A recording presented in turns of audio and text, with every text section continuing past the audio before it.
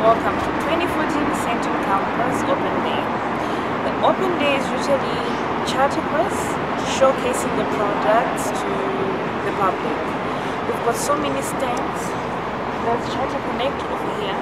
Charter Connect usually deals with um, helping our students connect with employers. So we help them find the right job uh, in accordance to their qualification, in accordance to their, let's say if they're doing CIMA, we help them find um, management accounting jobs. If they're doing ACCA, we help them find auditing and taxation jobs according to the modules that they were studying with us. Over here, there's ACCA.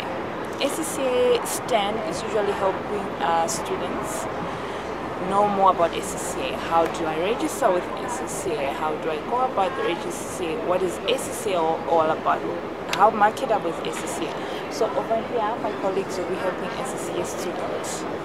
And let me also show you uh, at the far end, the CIMA.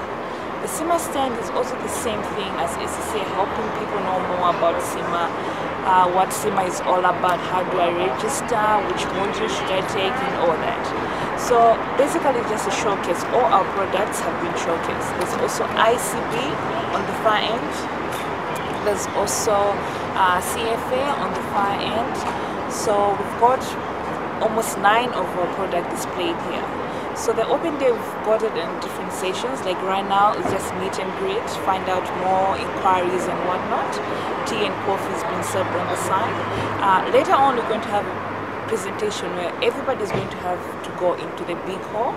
There are people who are going to present um, more on what's the way forward towards um, what Charterquest is all about. How can you assist you?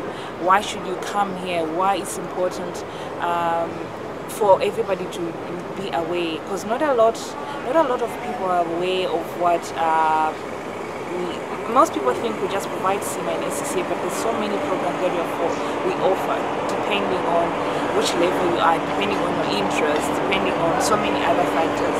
And we've got some other program also including mini lectures, presentations, award ceremonies and all that. I'm sure you're going to see more as the day goes by.